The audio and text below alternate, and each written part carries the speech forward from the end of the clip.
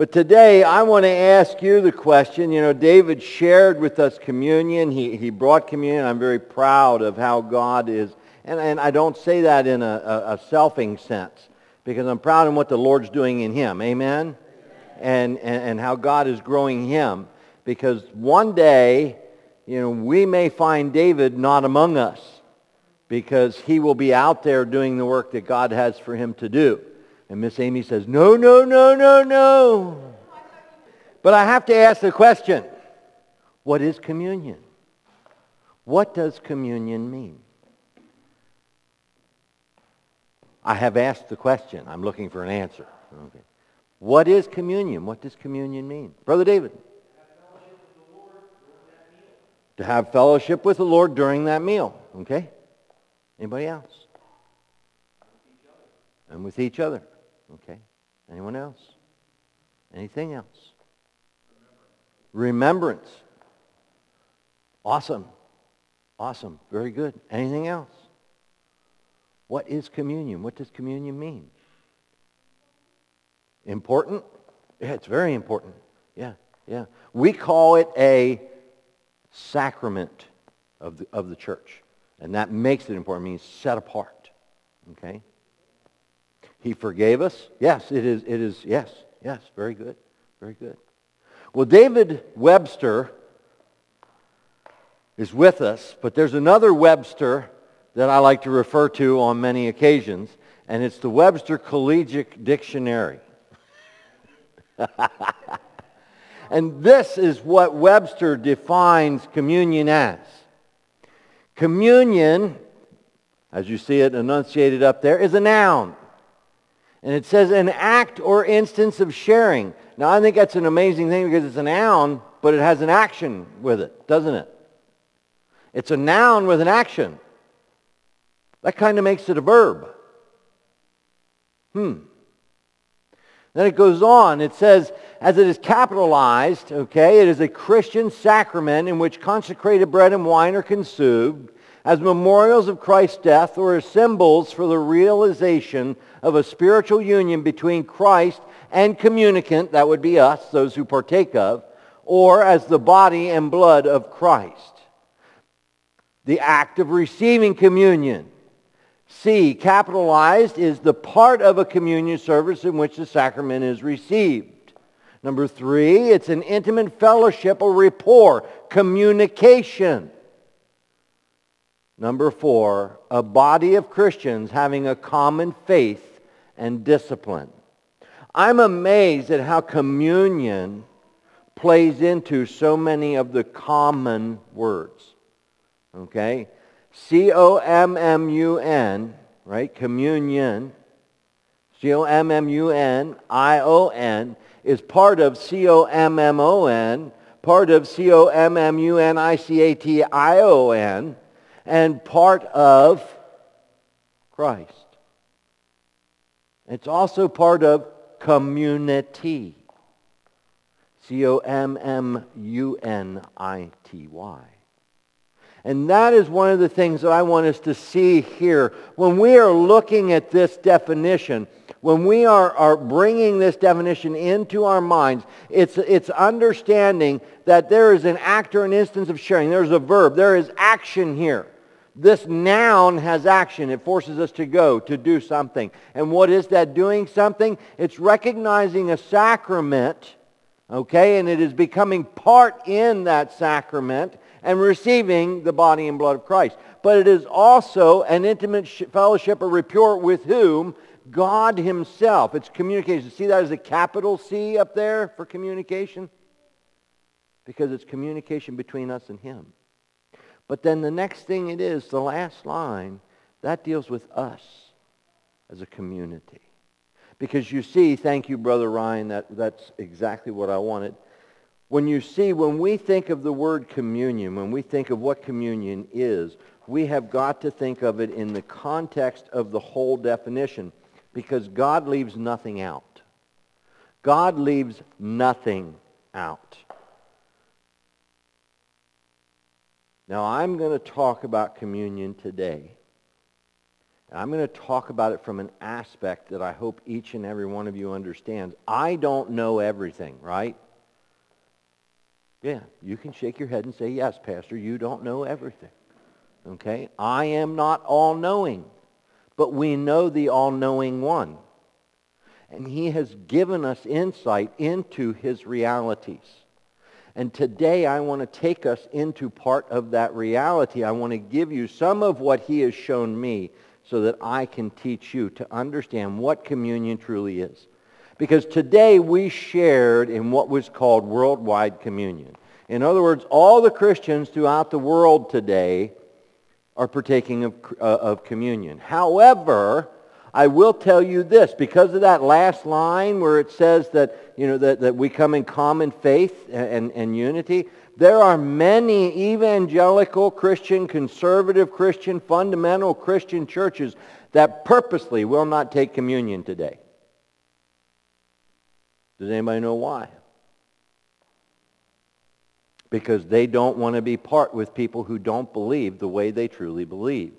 So therefore, they eliminate themselves from that group. And I'm okay with that because we don't have to take communion on this day. We do it here in the Heart of Christ Church as a remembrance that there is going to be a day when all of us who truly are the body of Christ will take communion together. You see, I truly believe the scriptures where it tells us that we are not supposed to worry about the tares that have grown up among us, that God can take care of them in their time.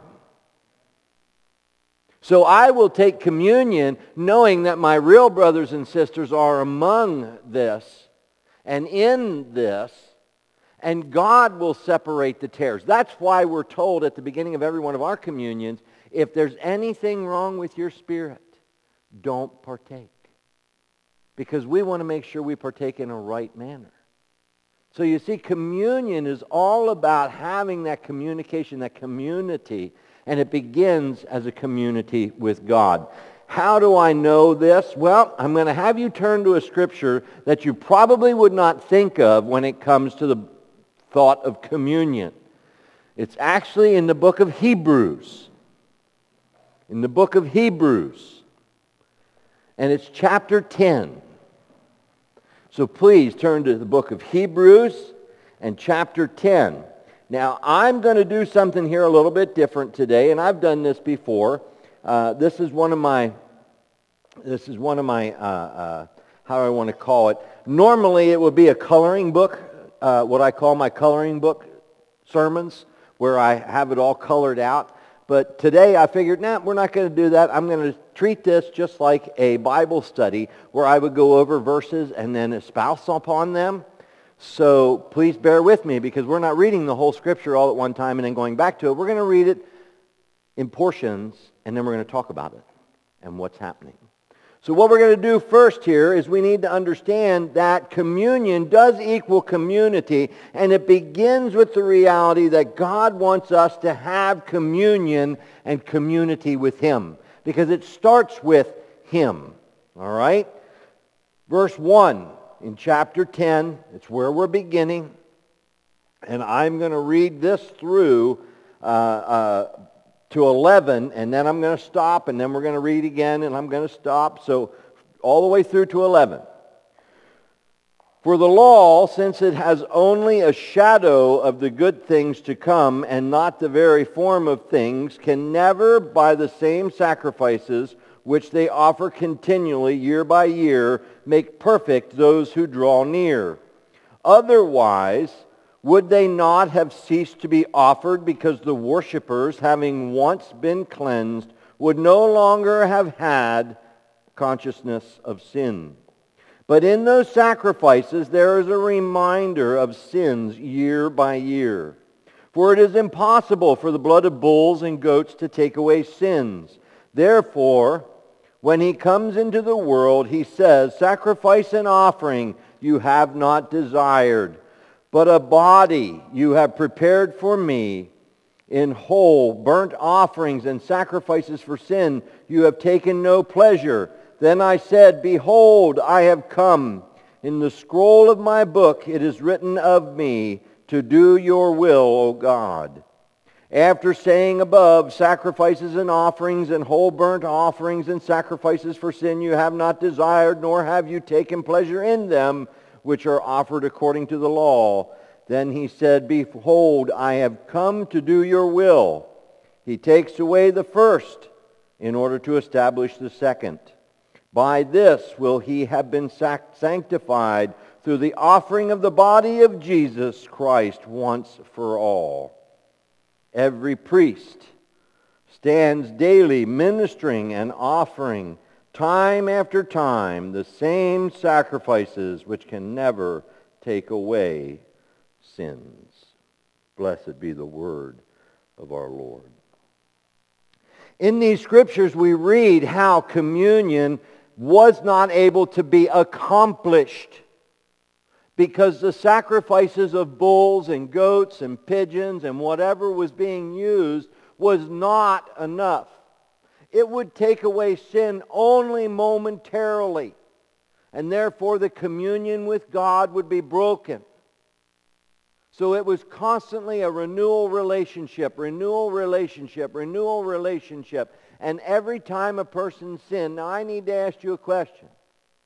Since we have taken bread and wine here this morning already, how many of you have had a bad thought in this room? Yeah, don't be ashamed to raise your hand. Mine's in the air. So we've already broken relationship with God if it were by the blood of bulls and lambs and goats and pigeons. We didn't even make it out of the room. And our communion was broke. God says, that's not the communion I want. You were created to have communion with me fully, totally, wholly, all the time. And he knows there's nothing we can do to bridge that gap. So what did he do? He sent his son, Jesus Christ. We just read it. In heaven, he says, Behold, you prepare a body for me, and I go to do your will. What was his will? That Jesus Christ would become communion for us. That he would be the broken bread. That he would be the poured out blood. That it would be his life. Now, why is the life and uh, the blood and, and body of Christ so much more than the blood and body of bulls? Well, here's the reality. The life is in the blood, okay? We can only have life through the life-giving blood of another animal or another being, the sacrifice of that other being. It's the only way we can have life. Life has to be offered. There has to be death. Well, the bull dies, and there's no more life in it. But in Christ Jesus, there is life. Because his life, yes, it's in the blood, but his life is also in his body. For when he died, he was resurrected. So he yet lives. So when they offered up a bull, it was dead. But when Christ was offered up, he died for a period of time to sanctify us, to take our sins into hell, and he rose again from the dead, that those of us who believe in him and partake of that body now have everlasting communion with God, for our sacrifice liveth. And we have communion with God.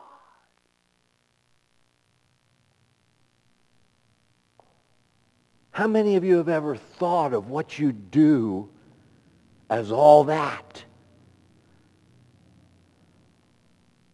And folks, that's just what your pastor realizes and I'm nowhere near perfection. Think what communion is going to mean when we realize just what it means in the Trinity. I want you to think about this for a second. The Trinity is total communion, three in one, ever existing, never not existing, forever. Always. Because you see, when God was in his own form, without any of us, without anything he created, Did he need any of this? Absolutely not. He was complete and full and total in and of himself. He did not need any more. But God said, it would be nice. It would be nice to be able to have a precious thing. Something that would choose to love me for no other purpose than to love me simply because I am. Wait a minute, that's his name. Hmm. Do you think there's a reason he called himself I am? Because you see, God didn't have to have us. But God wanted us for what? For choosing communion. For choosing to be with him. Not that he needed any more. He didn't. But the awesome part was he thought more of his own thought than he thought of himself. What do I mean by that?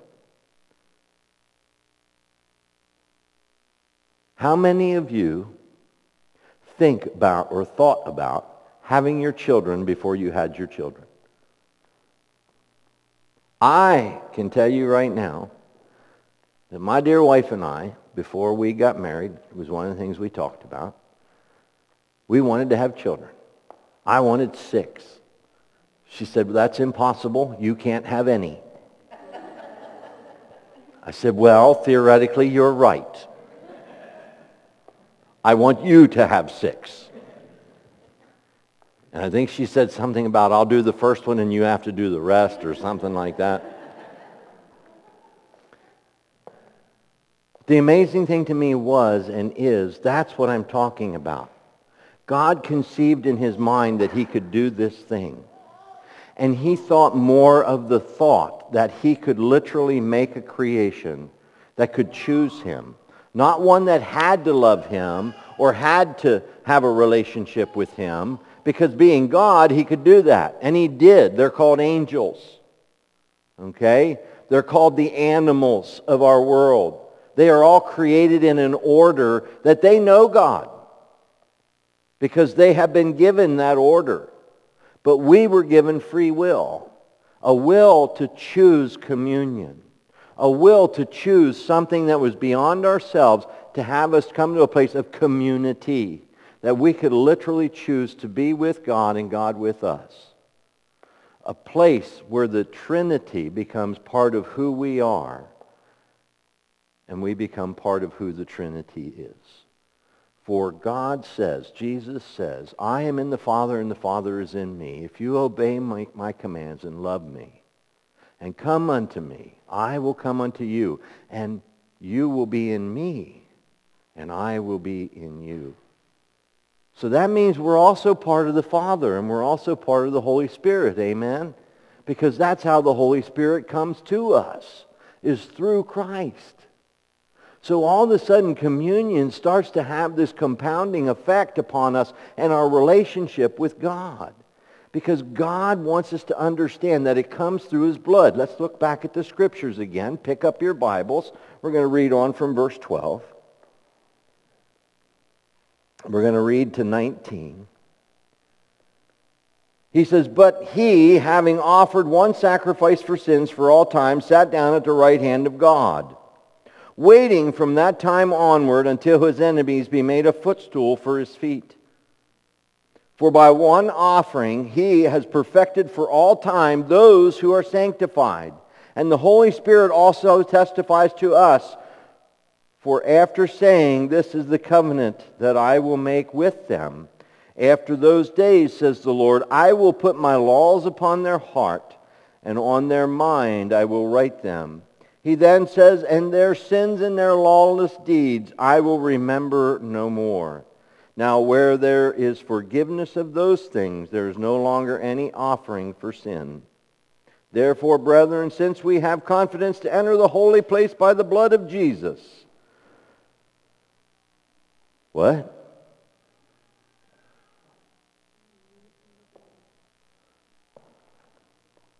By a new and living way, which he inaugurated through us through the veil, that is his flesh. Do you see it? Isn't it amazing? How many times have we read Hebrews in the 10th chapter and how many of us thought about communion? That's what this is talking about. This is talking about communion. This is talking about what Christ paid for us. You see, the cross is communion. It's the real communion. What we partake of in the bread and the cup is merely a symbol of what was. It's a remembrance. But in that remembrance, by faith, it draws us into this real relationship that through the blood of Christ and the broken body, which is alive, we now have a way, the only way. Jesus said that. I am the way, the truth, and the life. No one comes to the Father but by me. So we have communion through the blood, through the body. Because, verses 21 and 22, and since we have a great priest over the house of God, let us draw near with a sincere heart and full assurance of faith, having our hearts sprinkled clean from an evil conscience and our bodies washed with pure water all of a sudden we have been made right. We have been made ready to come into the presence of God, to have communion with him, to be a community with God, to have community with God, to communicate with God, to have something in common with God, a righteousness and a holiness that we did not have before, a gift given to us by the love of God, through the grace of God, by the power of God, for the glory of God. May I hear an amen in the house of the Lord. You and I, God poured out his all that we could have communion with him that we could be a community with him, that we could communicate with him. How great is the love of God for those who are in Christ Jesus. The reality is God wants every person in the world to know that. That's why we're here as the church, to share what we know with the world. You know, it amazes me because we send our kids to school to be taught, right? How many of you realize that years ago, who was the teacher? Mom and dad. Because generally, the kids grew up, mom taught them how to read and write, if mom knew how to read and write, and hopefully she did. And Dad taught them how to work and till the ground and plant the crops and everything else. And, you know, Mom taught the girls how to sew and, and, and, you know, it just went on and on and on. And we had a thriving society. Now we send them off to school and they come back and we don't even know who they are anymore. We don't know what they are anymore. Because that's where our world is teaching them. We've turned the authority over because we've we've walked out of communion. We've walked out of communion. We don't understand how important communion is. But God says, I'm not done there. God says, yes, I want you to have communion with me. I want you to be my community, and I want to have community with you. But God takes it further. If you remember the definition there, the last definition, which is, which is the definition that defines us, because the first three definitions is what we, isn't it amazing? Because I think it's funny. The first three definitions that we saw, that's all what we just did. Okay? That's all about God and our relationship with him. And then he tacks one more on there, and it's about the common good of all of us who share in one belief. Because you see, God does not just want us to have a com- community with him because that's what the world wants us to believe. Oh, your faith is private. You just keep it between you and God. Now, if you want to go to church and share it with all those other people that are there, that's fine. But don't take it out into the world, right? Isn't that what they're telling us? But that's not what God tells us. Let's see what God has to say from verse 23. Let us hold fast the confession of our hope without wavering, for he who promised is faithful. Going to hold there for just a second. You and I need to understand, and, and I pray that we do, that here we're told we're supposed to stand fast. We are to believe what we know and stand fast. Right now, the world is telling us a lot of stuff. They're telling us that we're wrong. They're telling us that we're bigots. They're telling us that we're very closed-minded. Okay? Well, if the world wants to call me a bigot, go for it. I'm a bigot. Do you know why I'm a bigot? Because I believe that there is one way. Do you know why I believe I'm a bigot? Because Jesus told me that he is the only way to the Father, that the only way for forgiveness of sin is through the cross of Calvary, that the only way for redemption is through the communion of the saints, okay? Through the sanctifying grace of God by the blood of Christ, sacrificed on the cross of Calvary, risen on the third day to the glory of God, that all men might believe. Am I a bigot? Yes, because the Bible tells me to be one. There's only one way. That's the definition of a bigot. I'm a bigot. Get over yourselves. Let them call you a bigot. Say, yes, I am, because I do not believe in pluralism. There is no such thing as pluralism in sanctification. Jesus did not say, choose whichever one you like. Get over yourselves. Let them call you names. Does it matter? Stand firm on what you know. They're going to call you racist. Well, you hate Muslims. Oh, I don't hate them. I love them. I just don't like them. There's a difference. Well, and you look at them and say, wait a minute, you hate me. You're showing me that right now. Well, I don't hate you. Well, then you don't like me very much, right? That's the exact same thing I just said to you. Use their own words against them. Please remember, God wants us to understand that we need to stand fast. We need to look at this, this reality that we're, God knows we're going to come under persecution. Why do you think he would write such a thing? Because he knows that when the testing comes that we simply need, as he says, let us hold fast the confession of our hope without wavering. Did God really say that? Well, you know, I'm not really, know, I, I guess you could interpret that. Thus saith the Lord. Period. You know, there's one church out there, it says, God's still speaking, and they have a big comma. Okay? And I think that's hilarious. Because God is still speaking, but he spoke every word, period. The words just last for eternity. Amen? We need to remember, God's not changing his mind on what he has said what he has said has stood and stands and yet speaks to us today. He says, stand fast. And he goes on. He says, and let us consider how to stimulate one another to love and good deeds. Wow. Brothers and sisters, church, let me tell you, when we come together in communion, when we come, what we just shared here today is something that brings us together.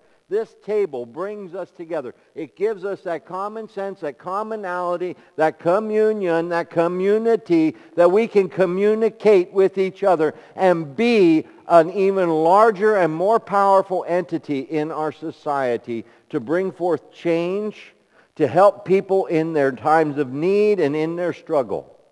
So many times in the church, one of the things, and, and, and I see this because, man, I can remember before I became a Christian, I said, I'm not going to that place. That, they're a bunch of hypocrites in there.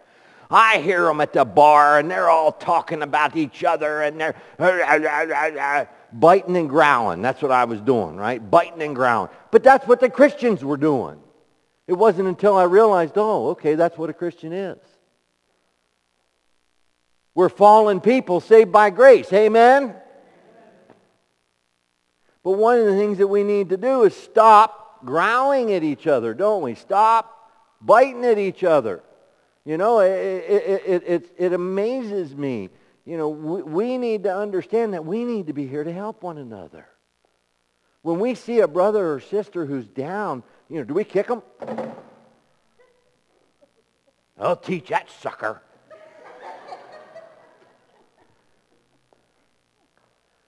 No, when we see a brother or sister who's down, we need to pick them up. No, we need to get down there with them.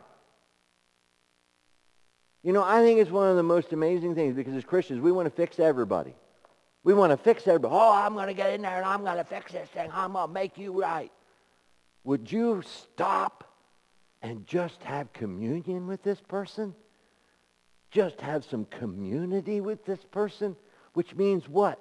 Getting into their position. You know, sometimes people that are hurting just need to know that there's somebody there they can hurt with.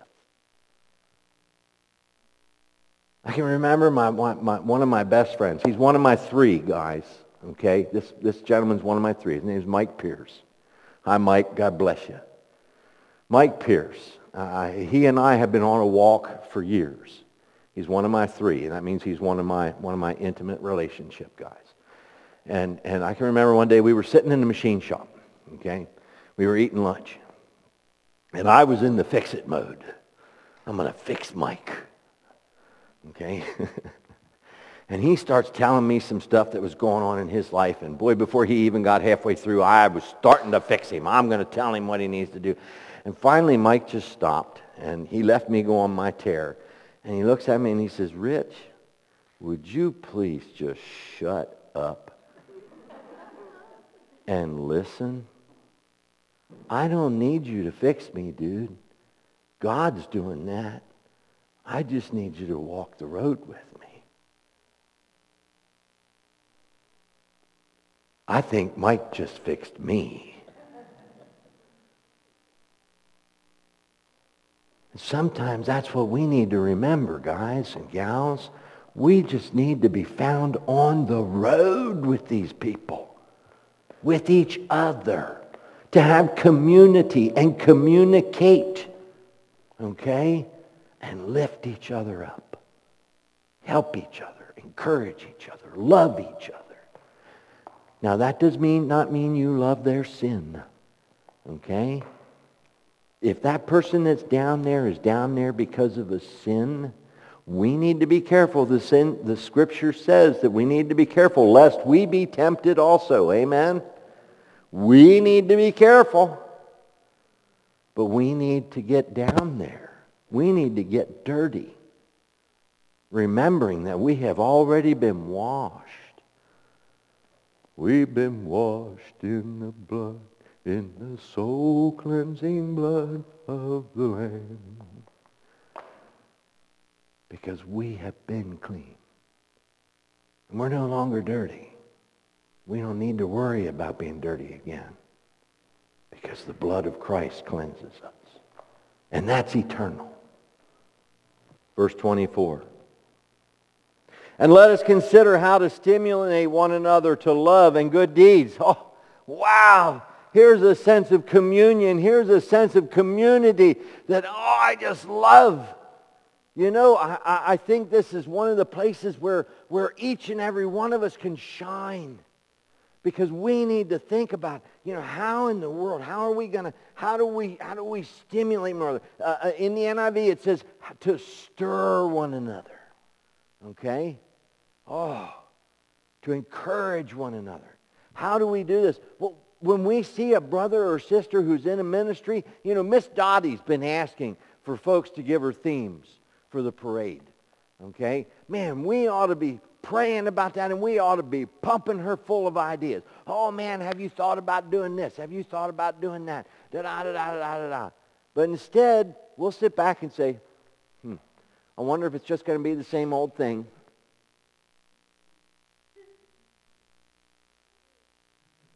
How many people are going to help this time?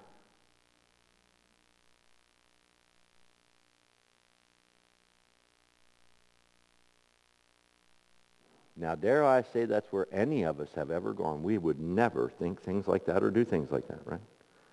In any ministry, on any form. I'm just picking on one. Because I know for a fact that within this congregation, we have had people who have thought to themselves, well, I would like to have had that position, so now I'm just going to hate that thing because I didn't get that position. Well, you know what? The first shall be last and the last shall be first. So if you think about this person who has been given that responsibility, guess what? Now all of it lays on their shoulders. So if they become the first, because they're the one who's standing up front, right? If they become the first, don't you think that you who come alongside and raise them up, that God's going to look at that and say, wow, you know, rather than being in self and, and in, in, in, in, in your egress of self, you are lifting this person up. Wow, because now all of a sudden the first becomes last and the last becomes first. Because where do we store up our rewards? In earth or in heaven? We need to remember that part of communion is storing up treasure in heaven because it's about community. It's about being Christ to those who are in this with us. You know, I've had several of you who have said to me, why do people always come to me with all their problems? Duh! Because they come to me the same way. Why? Because you're supposed to be the super spiritual. Brother Chuck, where's Brother Chuck? Oh, they, okay, they, they took off. Well, then I can talk about him all I want. Brother Chuck called me at one time here a while ago. It was a long time ago. We were, he was not anywhere near where he is now. And he says to me, he says, Pastor, I need you to pray for me because you got a direct line to God. I'm looking around my house for the red phone. You know what I mean? Where is that sucker? I need to talk now.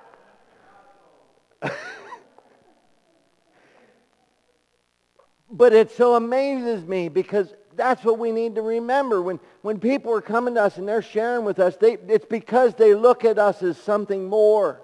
And they want us to come alongside of them and raise them up. They don't want us to, to be burdened by, their, by what they're telling us. They want us to, to, to help them because they believe that we have this more, better relationship with God. And guess what? If they believe it, why don't you?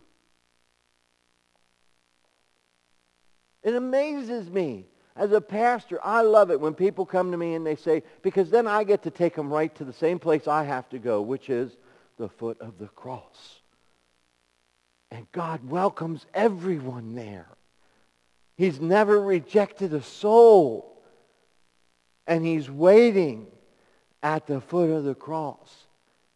And that's the only place any of us has to go. And that's what we have to do, is we've got to become broken with them and take them to the foot of the cross. Even if they don't want to go there because they don't want to realize they're the ones broken. We need to encourage one another. We need to spur one another on to even greater things. Jesus says, greater things than I have done will you do. And we need to be pressing that in our lives. Do you know there's a reason why your pastor will never become more than he already is? That's because I need all of you to surpass me. My goal is not that I become more, but that you become more. That you become the ministers that this world needs. I'm ministering to you that you may go out and minister to others, that you may see the influx. You are the church. I'm simply the pastor who's taught to, who's been told to lead the church, to teach the church, to empower the church. You are the church. You will do far greater things than I will ever do. You look at me and you say, oh, well, he's a spiritual giant. Excuse me, this is grape juice and bread. There is no mystery in it.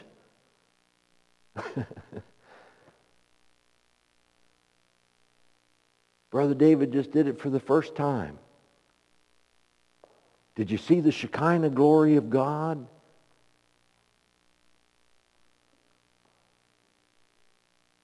Did you see the mirrors and the smoke? No, I saw a man whose heart was given to the Lord, speaking to us about a physical reality in a spiritual manner, leading people to a throne of grace, building us up. I got to land this plane or I'm going to get in trouble. Last verse. Verse 25 not forsaking our own assembling together, as is the habit of some, but encouraging one another, and all the more as you see the day drawing near. We are in that day. It is drawing near. And it is calling loudly against the church. And we need to encourage one another to not give up we need to encourage one another when we see the attacks coming. We need to literally be there to help the brother, help the sister, get involved. We need to be the church of Jesus Christ because we have a sense of community because of the communion that we share together in the bond of the blood of Christ and his broken body given for each and every one of us. Because you see, it is that sense that God wants us to understand that we are in form of physical representation of the Trinity. That we all belong one to another. Each of us is in one another through a spiritual bond, but also a physical bond in the church. You and I need to remember, and we need to continue to walk, as only God can allow us to walk through the grace that he has given us to be the church of Jesus Christ. His love outpoured into a world that so desperately needs it. Remember, he sent Christ and we received Christ. This world needs Christ, but they'll not see him. They'll see us because we're alive, we're flesh and blood, and they have to deal with us. But let's give them something to deal with, amen. That means some of us are going to go to jail. I honestly believe that. Some of us are going to go to jail. Guess what? It happened in the first centuries. It'll happen in the last centuries. Are you willing? Because I'm going to need company when I'm in there. God is not done. His sense of community is unto the very purging of the gates of hell itself. In fact, in the book of Jude, it says that we are to snatch them from the flames as they are perishing. We need to realize those flames are burning pretty bright right now. God is not done yet. And he wants to have that sense of communion and community, and this is where it all comes into play. What did we just do today? We took communion, that we are one with God. But in that communion, we are one with each other. And we have a plan and a purpose. And that plan and purpose comes from God, who has given it to us through his Son, Jesus Christ, in this example. His living example. So today I pray that each and every one of us here would understand that God wants us to have a communion with him, but he also wants us to have communion and community with each other. Would you pray with me this day? Father God, we truly need to praise you. We need to lift your name. For you, Lord Jesus, have brought us to a place where we truly understand that you are. You are life itself. And you have a purpose for us in that life. And that purpose, Lord, is to share your love with others, that your original purpose may be fulfilled, that people would choose to love you simply because you are. Father God, as we bring forth our praise here in the end of our service, I pray that you would move in each life here to go out into this world and to bring back brothers and sisters to increase our communion and to increase your communion. For Lord God, that is what you sent the church forward to do. And may we be found faithful. In Jesus' name, amen.